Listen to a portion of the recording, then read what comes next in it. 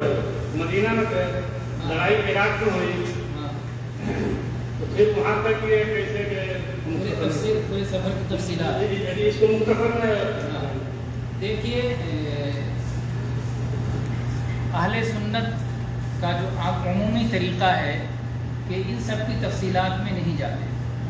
इसलिए कि इन सब की तफसीलात में जाने का कोई हासिल नहीं है। आप देखें, कुरान पाक में अल्लाह ताला ने बहुत सारे वाक़यात बयान किए हैं। अल्लाह ताला वाक़यात का वो हिस्सा बयान करता है, जिसमें हमारे लिए फ़ायदा है, इबरत है, नसीहत है, और वो हिस्से छोड़ देता है जिसकी कोई ज़रूरत नहीं। है बाज़ लोग ऐसे बयान करते हैं, जैसा कि वो सामने देख रहे हों, एक वाक़े की एक एक हरकत को देख रहे हों। सुबह देख रहे हों, शाम देख रहे हों, कब दिन डूब रहा है, कब जो है सूरज निकल रहा है। कौन किसके गोद में है, कौन किसके गोद से नीचे है, किसका दुपट्टा कहाँ पर है और किसके हाथ में क्या है और किसके आँखों से आँसू बह रहे हैं, इस तरह बयान करते हैं और जिसकी कोई हैसियत नहीं होती। यानी यकीनन उसमें कोई भी आदमी सुन करके कह सकता है कि ये गढ़ी हुई बातें हैं जो गढ़ करके अपनी तरफ़ से बयान की जा रही है। तो इस तरह की गढ़ी हुई बातों से हमें कोई लेना देना नहीं। असली ये है कि हुसैन रज़ी अल्लाह को अल्लाह ताला ने शहादत का मकाम दे करके दर्जा बुलंद किया। शहादत एक आला मकाम है।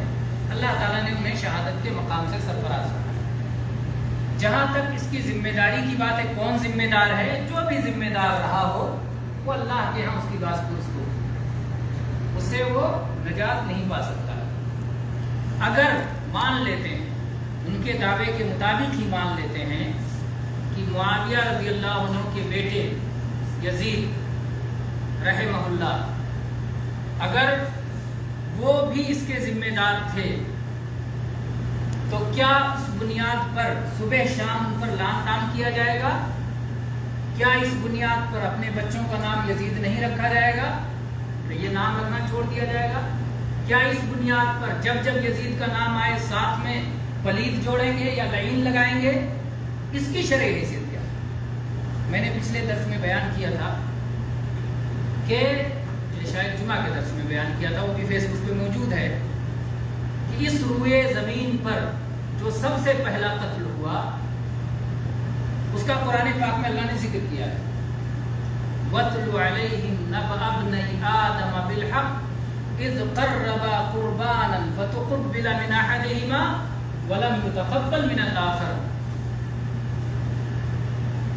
तो अल्लाह ताला ने कहा कि आदम के दो बेटों का किस्सा सुनाई। अल्लाह ने नाम भी नहीं किया दो बेटों का किस्सा सुनाई। दोनों ने अपनी अपनी कुर्बानी पेश की। एक की कुर्बानी कबूल हो गई, दूसरे की कुर्बानी कबूल नहीं। इसकी कुर्बानी कबूल हुई, ये किस बात की निशानी है? वो नेक बंदा था कि बुरा बंदा था? नेक बंदा था सवाल बंदा था। अल्लाह का वली था। नबी सल्लल्लाहु अलैहि वसल्लम से पहले जिस भी वली का नाम लिया जाता है तो कैसे नाम लिया जाता है? अलैहिस्सलाम कह के ना, जुरैज अलैहिस्सलाम नबी तो नहीं थे। तो हाबील अलैहिस्सलाम सबसे पहला कत्ल किसका हुआ? हाबील अलैहिस्सलाम कत्ल करने वाला कौन था? काबिल। काफ से कत्ल और काफ से काबिल, याद रखना काबिल ने कत्ल किया। अल्लाह के नबी सल्लल्लाहु अलैहि वसल्लम फरमाया इस रुए ज़मीन पर जो भी कत्ल होता है, उस कत्ल का गुनाह काबिल पर पड़ेगा।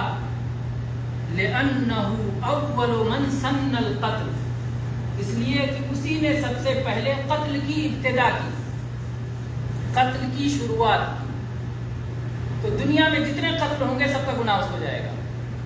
हुसैन रज़ी अल्लाह के कत्ल का गुनाह भी काबिल पर। अली रज़ी अल्लाह के कत्ल का गुनाह भी काबिल पर, उमर रज़ी अल्लाह के कत्ल का गुनाह भी काबिल पर, उस्मान रज़ी अल्लाह के कत्ल का गुनाह भी काबिल पर। यहूद ने जितने अम्बिया को कत्ल किया, उनके कत्ल का गुनाह काबिल पर। काबिल इतना बड़ा गुनहगार। इसी हदीस में आया उस पर लानत करो। जब भी काबिल का नाम लो तो साथ में मलून लगाओ। जब भी उसका नाम लो तो साथ में पलीद लगाओ। है कहीं कुछ ऐसा शरीयत में? कुछ नहीं है। इसका मतलब ये सारी बातें जो की जाती हैं, इसका शरीयत से कोई ताल्लुक नहीं, सब मनमानी है। सब मनमानी है। शरीयत में इतना बड़ा गुनहगार सारे कत्ल का गुनाह उसके सर लेकिन उसके बारे में ये सब अहकाम नहीं है तो यजीद के बारे में सब अहकाम कहाँ से आए पूरा दीन बना दिया एक तरफ़ यजीद, एक तरफ़ गैर यजीद। एक तरफ़ यजीद, एक तरफ़ हुसैन। इसी को पूरा दीन बना दिया, ये किन लोगों ने बनाया है? जो कुरान के सिवा एक और दीन चाहते थे। जो नबी सल्लल्लाहु अलैहि वसल्लम की सही हदीस के सिवा एक और दीन चाहते थे। क्योंकि कुरान में तो यजीद और हुसैन तो ढूंढेंगे तो मिलेगा नहीं क्योंकि दीन तो मुकम्मल हो चुका था अल्लाह के नबी सल्लल्लाहु अलैहि वसल्लम की ज़िंदगी में। नाफिज था। दीन मुकम्मल भी था, दीन महफूज भी था, दीन महफूज भी है, मुकम्मल भी आज भी। ऐसा तो नहीं कि ना मुकम्मल था और ना महफूज था। किसी का ईमान है ऐसा? कुरान गैर महफूज है? कुरान ना मुकम्मल है, कुरान मुकम्मल भी है, कुरान महफूज भी है। नबी सल्लल्लाहु अलैहि वसल्लम की ज़िंदगी में मुकम्मल हुआ और नबी सल्लल्लाहु अलैहि वसल्लम की ज़िंदगी ही में महफूज हुआ। तो अगर हुसैन और यजीद को कुरान में तलाश करते तो पाते नहीं। तो फिर उन्हें पूरा अलग से गढ़ने के लिए एक अच्छा नाम मिल गया। इस नाम पर जो चाहो फिर गढ़ते जाओ, जो चाहो फिर बयान करते जाओ। उन्होंने दीन के नाम पर ऐसी ऐसी खुराफात गढ़ ली जिसका कहीं हकीकत से कोई ताल्लुक नहीं ना जो अल्लाह की किताब में है, जिसे जबरील अलैहिस्सलाम अल्लाह से लेके आए और मोहम्मद सल्लल्लाहु अलैहि वसल्लम के कल्बे मुबारक पे उतारा, उस कुरान में इसका कहीं कोई अता पता नहीं है। नबी करीम सल्लल्लाहु अलैहि वसल्लम की वो अहादीस जो अल्लाह की वही है इसके बारे में अल्लाह ताला ने फरमाया, वमा यंतिकु अनिल हवा, इन हुआ इल्ला वही इसके बारे में अल्लाह ने कहा है कि इसमें अपनी तरफ़ से आप कह नहीं सकते। अल्लाह ताला ने फरमाया है वलौ तक़व्वल अलैना बअद अल-अक़ावील लअख़ज़ना मिनहु बिल-यमीन थुम्मा लक़तअना मिनहु al-वतीन कि अगर मोहम्मद सल्लल्लाहु अलैहि वसल्लम अपनी तरफ़ से गढ़ के कोई बात कह दें तो हम उनकी रगे गर्दन काट देंगे अल्लाह ने कहा, ये मेरे रसूल हैं। मेरे नाम से गढ़ के कुछ नहीं कह सकते। मैं उनकी तारीफ़ कर रहा हूँ। अल्लाह के नबी वसल्लम की सही अहादीस में तो सब चीज़ें मिलने वाली नहीं है। तो इसलिए उन्होंने इस पर एक नया दीन खड़ा कर दिया। और इस्लाम ज़िंदा होता है हर करबला के बाद। करबला के बाद का इस्लाम उनका इस्लाम है। करबला से पहले का जो इस्लाम था वो हमारा इस्लाम इस्लाम करबला से पहले था, करबला के बाद है और क्यामत तक रहेगा। और इस दीन को कोई मिटा नहीं सकता। वो बात फेंक दें, पर्दे डाल दें, अंधेरा कर दें थोड़ी देर के लिए। थोड़ी देर के लिए रुखे जेबा पे कुछ भी कर दो गुबार और महल कुछ फेंक दें। वो हमेशा नहीं रह सकता है। साफ़ होगा। क्योंकि इस दीन की हिफाजत का जिम्मा अल्लाह ने खुद लिया है, क्योंकि मोहम्मद आखिरी रसूल थे, कुरान आखिरी किताब है, और शरीयत मोहम्मदिया आखिरी शरीयत है।